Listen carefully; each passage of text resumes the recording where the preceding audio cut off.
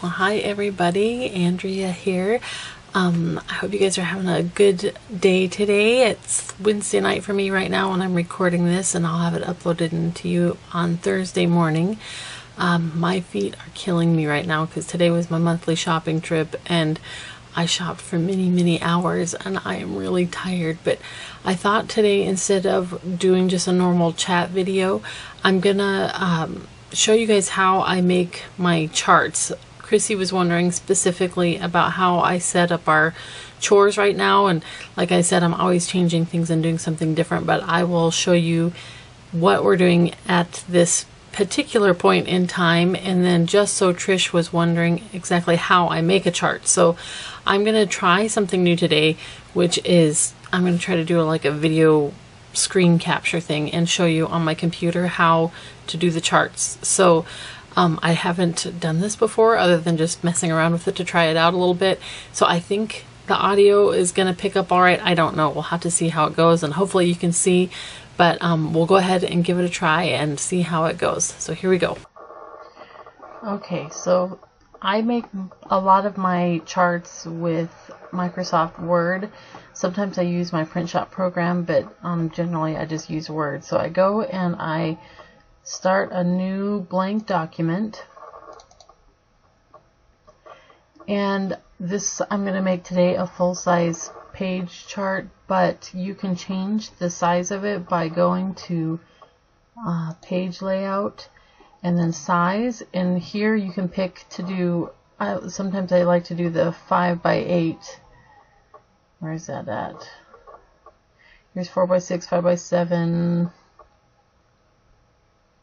oh here. Here's a 5 by 8 that's the size I use for making the goal charts for the kids. Uh, it, let's see. If I switch orientations here you can see this is um, let's make it a little smaller. This is the kind of a um, page I would use to make those smaller goal charts. But for today we're gonna stick with the regular um, page. Now I gotta figure out how to put it back Alright, and I'm going to put it back on portrait. Um, I always like to use the narrower margins just because I can get more on a page. So I go right here to the margins and click narrow. You can make custom margins by clicking the custom button and then changing the size there. But I just usually use just the narrow ones. So then I'm going to go back to the home tab and I like to have no spacing on my words. So what that means is when I push the enter key, it doesn't leave a space between paragraphs. It just goes right to the very next line. So I usually choose no spacing, and I'm going to call this morning chores. So I type that, go down to the next line, and then I'm going to insert a table. Here's the dog. um, you can do a table like this where you just choose how many uh, cells you want, but I usually just go insert table and then I'm going to type in I want to have a column for every day of the week and one for writing down the chores, so that means I need eight columns. And I'm not really sure how many rows I'm going to need, so I'm just going to put in 25 and you can delete rows or add extra if you need to once you get started. So here's my um, table and I'm going to make these cells here only half inch wide. So I'm going to go to table properties. Excuse the dog back there. He's making grunting noises. I'm going to put in half an inch for those. And you'll see that made it a lot smaller here. And then for where I'm actually going to write the chore, I think I can go up to like four and a quarter probably. Yeah. Maybe, yeah, that looks alright. And then click OK. So now I have one wide column for writing the chore out, and then these ones will be where we mark down um, where the kids initial it. So here I'm going to write chores or chore. I'll do Sunday, Monday, oops, Tuesday, Wednesday, Thursday, I keep doing that, Friday, and Saturday. And I want to make it look funner, so I'm going to change my font here I'm going to go back to the Home tab. And I've been liking this font lately, so I'm going to choose that one. I'm going to make it a little bigger. I'll also change this font here and center it.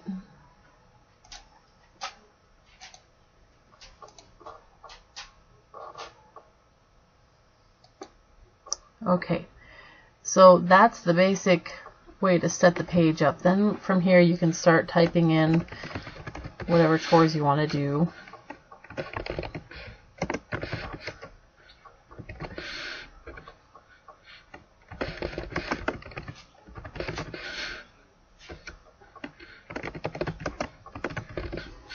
So I'm not going to do more than that, but I'll give you those for examples. Now, if you were doing a kind of a chart where you wanted to alphabetize, um, this is where you would you would select all of this. And you push this little button here and that'll let you choose uh, it'll let you sort um, by column. So I'm going to put chore and then um, it doesn't matter on those because I don't have anything written in the others. I'll put them all at the bottom because these are blank ones. I could have only highlighted these four and it would have done the same thing but you can see it put them in alphabetical order for me. Um, that's not how I would do it. Normally how I do it is for a chore list is I put them in the order that I want them to be done. So I think through what needs to be done before other things need to be done. So for instance, loading the dishwasher comes after emptying the dishwasher because we've got to put away the dishes that are already clean before we reload the dishwasher. So, you know, I think about what order they should go in and then I type them in that way. Um, something that only needs done maybe a few times a week or once a week. Like, let's see what something here.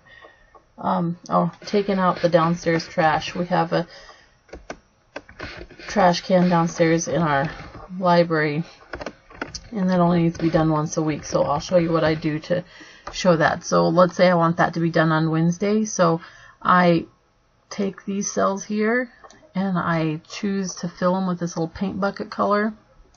There's lots of colors to pick from. You can just choose one and I color those in and then I color those in so that when the kids are actually doing the chores then they'll see that it only needs to be done on this day and these ones are blacked out so they don't need to do that chore that day.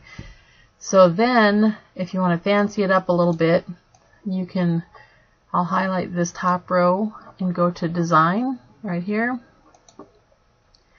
and it's already selected to be two and a quarter point line and I click borders and you can see here if I just want the cells that I've highlighted if I just want the bottom line to be uh, thicker then I would click this one or you know top left right. I want all four of the edges to be thicker so I'm going to click the outside borders button and that makes a nice um, outline around the whole thing. And then I actually want to do this whole section down here so I'm going to click that again and click that and then it makes it kind of look a little bit fancier. So this is what we've been doing right now for chores and we have a big long list. I'll show it to you when I'm all done with the video. But um, we have a, a whole list of things and then every day I just have the kids initial as they do them. So whatever comes up next in the list, if it's something that they're able to do, then they would put their initial here, and then the next kid to come along would do the next job initial.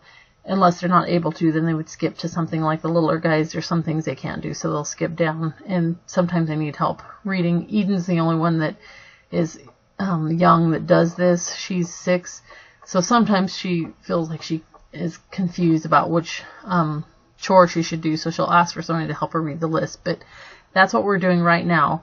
At the bottom of our page, I have a second um, table, so I'll insert another table. And it only has three columns and five rows. We do, we call them zones and each one of the bigger kids has a zone that is their job just to do tidying up. So anytime that's one of their chores in the morning is to check their zone, we call it, and then anytime that stuff needs tidied up, I'll tell them to go check your zones and then they just go to that room and they'll just pick up anything that's out, whether or not it was their stuff. They just clean up whatever needs cleaned up in those rooms. So we have that on our list so that um, we can remember whose zone is currently who who currently has each zone, and they do switch from time to time so that somebody doesn't get stuck with the same rooms all the time.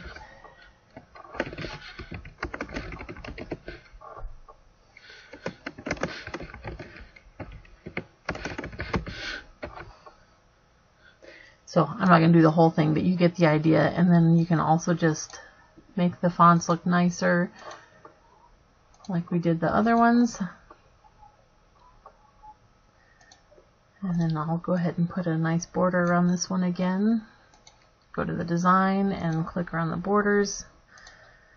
And if you want to have your words centered completely, not just centered um, left to right, but actually top to bottom also, then you can highlight your cells and then um, right click and then choose cell alignment and you pick the box that has it like you want it. So do that and that moves all those words to be right in the middle of each cell. So there's another little way to make it look a little more professional. Um, I think that's everything I can think of to show you. That's pretty basic and it doesn't take very long. I usually have a list um, or I add to my list, I should say, as I go on. So I like to leave some blank lines at the bottom because especially when we're first starting something new, I always forget something. So I'll leave it blank and then I'll just handwrite it in. And then the next time I go to print one out, I will go ahead and type it up and add it in there where it needs to be. So, so there you go. And, um, let me get my other one that's already done and show it to you. Okay, so here's the one we've actually been using. Um, you can see that this one is all used up from this week.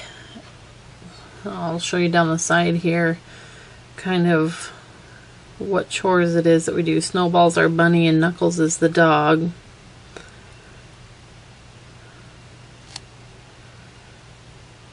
and things like this, like filling the oatmeal basket and the dog food bucket and the flour and sugar buckets upstairs, that just gets done once a week and I try to split up those extra jobs so they're not all on the same day um, just so that we don't have like an extra long day anytime.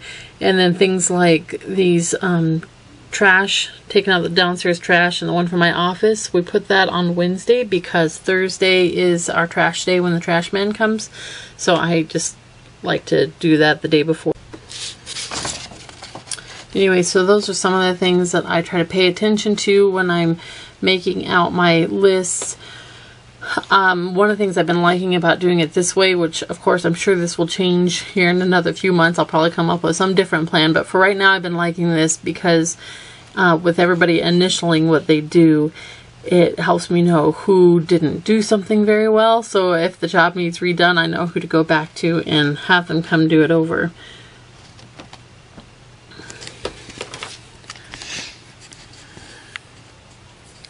So I hope that was helpful to you. If you guys like having those kinds of videos, it was not hard to do the little screen capture thing. If there's something else you want to see how to do, um, let me know in the comments and uh, go ahead and like the video if you liked it. And if you are new, I would love it if you would subscribe. And we will, oh, let's see, I'll be putting out tomorrow will be our field trip that we took to see the new baby calf. So we'll be doing one of those videos tomorrow and then I will not see you guys again until next Monday morning. There will be a new video out. So um, we will see you again soon. Have a great day. Bye.